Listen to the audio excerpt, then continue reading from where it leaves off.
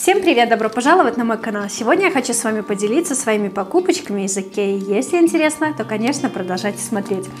Честно признаюсь, покупочек было немного, но они были нужны, поэтому мы в Икею съездили. Вот в таком пакетике они располагаются. На самом деле пакетик очень маленький. Ну и давайте приступим. Сразу вам покажу. Значит, что я купила? Купила одну вот такую вот баночку. Э, я их сейчас дома использую. И у меня их на данный момент штучек 6 точно есть. Э, чаи, я в них храню соль, храню соду. И недавно делала очередной торт. И поняла, что мне, наверное, нужно сюда еще и какао переместить и хранить какао, потому что в пакетике либо в коробочке оно в основном начинает рассыпаться, пока там, где вот оно хранится у меня по всей коробке, а, вот, и поэтому я решила, что какао тоже сюда стоит переместить, тем более, что выпечку я делаю часто, и часто какао мне нужно, поэтому приобрела одну баночку. Вот. Больше не покупала, потому что, ну, как бы на данный момент больше и не нужно ни для чего. Дальше вот такой вот щеточку купила.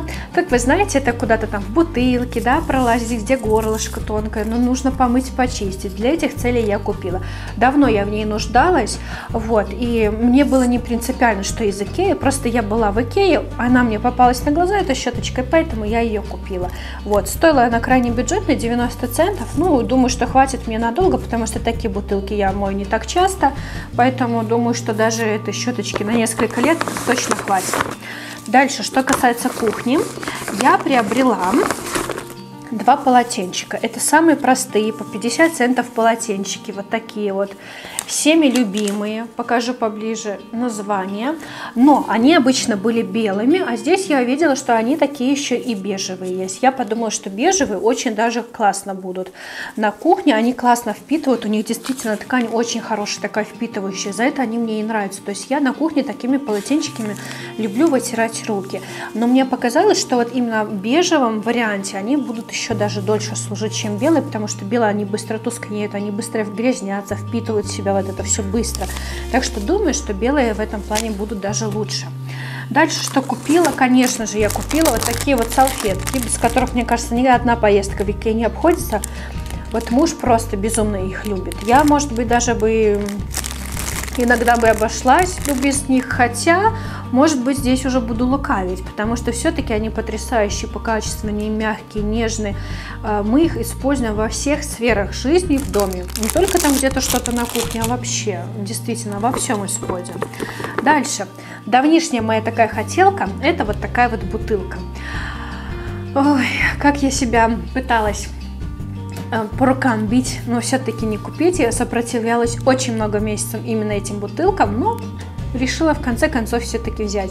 Думаю, что я хожу, докручусь возле них. Если нравится, нужно брать. А, мне, конечно, дизайн очень нравится лаконичный. В этой бутылке я планирую помещать зелень. У меня вот в боковом а, таком кармашке в холодильнике есть место для таких вот вещей. И вы знаете, зелень хранится в бутылках, в таких вот емкостях достаточно долго. Особенно если их так вот закрываешь, то действительно срок хранения увеличивается. И я сейчас храню в обычных таких банках. Но обычная банка туда вот в бок не становится. Я вовнутрь в холодильнике в полке кладу это все дело и благополучно забываю, потому что там через банку, ну, там такая банка, что сложновато как-то видно, то есть я это забываю и не замечаю. И то есть получается иногда, что зелень выбрасываю, не доедая ее. А я так подумала, что если в эту банку поместить зелень, например, лук, укроп, когда он, да, будет свежий, и э, сбоку он будет стоять, то я, скорее всего, буду постоянно его видеть, и тогда постоянно-постоянно буду использовать. Так что вот попробую. Тем более, когда не будет зелени, если будет какой-то компотик сварен, да, либо сок какой-то, либо даже молоко можно сюда прилить. То есть, если мне понравится, будет это классно, здорово и удобно, я тогда еще несколько докуплю. Пока купила одну штуку, чтобы просто посмотреть, все-таки удобно ли это для меня. Дальше я, девчонки, у меня белая посуда, но я не удержалась от такой сероватой тарелочки. Мне просто очень сильно привлекла форма. Я подумала, что в эту тарелочку действительно какие-то блюда очень интересные можно оформлять. Вот смотрите, внутри даже какой-то узор небольшой есть. Вот так вот она выглядит. Она достаточно просто выглядит, да, но мне кажется, сюда какой-то салатик, даже слоеный можно сделать, даже чуть повыше какой-то поместить. То есть очень интересная тарелка в плане именно формы. У меня подобной формы ничего нет. Когда я это увидела, мне показалось, что действительно разнообразные блюда можно внутрь поместить и их как-то использовать и в быту, и должно это прижиться, ну вот должно. Поэтому, конечно, я очень рада, очень-очень рада, что приобрела эту тарелочку. Но опять же, я опять много не брала. Взяла одну, если очень сильно приживется, если понравится, и тогда уже можно докупить еще несколько штук. То есть я обычно делаю так.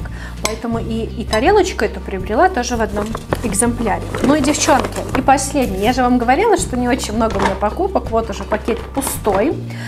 Последнее, что я вам покажу, это IKEA 365. Вот такая форма.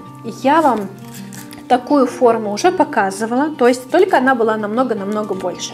Но так как мы пока с мужем вдвоем, не всегда нам нужна эта огромная форма. Поэтому вот это мне было, оказалось очень удобной.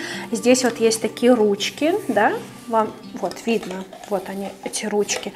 И действительно с духовки доставать за ручки, за эти брать, держать легко. На стол, например, ставить тоже очень легко. И, конечно, все-таки я приобрела еще вот такой вот маленький размер. У меня есть похожая, но она стеклянная, и она очень такая э, не широкая по высоте, то есть по высоте она очень мелкая, то есть в половину меньше. Мне все-таки удобнее использовать формы, которые высокие. Поэтому я от той, наверное, избавлюсь. Может быть, в Беларусь отвезу в дом в папе, папе в дом, потому что там тоже духовку мы планируем купить. И, может быть, где-то что-то там мелко будем запекать, потому что там из э, таких вот форм вообще ничего нет. То есть все равно-то и пригодится. Выбрасывать, конечно же, не буду. Все-таки поддерживаем хюгге, как говорится, да. Тоже хотим немножко участвовать в этой системе, в этом течении. Вот, но вот эту форму я здесь на каждодневную основу, на постоянную основу, конечно же, здесь буду использовать. И та большая, и эта форма одна в одну ставится и компактно хранится. Это, конечно, несомненный плюс для меня. Те, кто следит за моим каналом в плане организации хранения, вы это, конечно же, наверняка знаете. Но это все на сегодня. Да, был маленький ролик, да, было покупок немного, но все-таки это очень разумно, когда вы можете купить лишь то, зачем едете в Икею. Это здорово. Мне кажется, это не каждый может. Я тоже стараюсь себя в этом плане контролировать, чтобы действительно покупать то, что мне конкретно нужно. В этот раз я по Икее, конечно, походила, все рассмотрела тщательно, медленно, аккуратно. Ну вот, девочки, это было все на сегодня. Надеюсь, что ролик вам понравился. Обязательно пишите свои комментарии. И до новых встреч. Пока-пока.